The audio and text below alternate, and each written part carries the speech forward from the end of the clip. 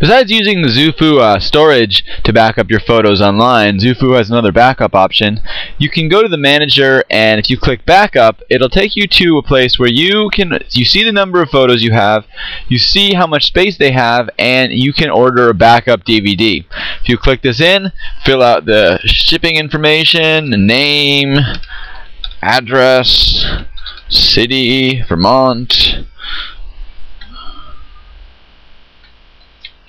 made up number, go to billing information.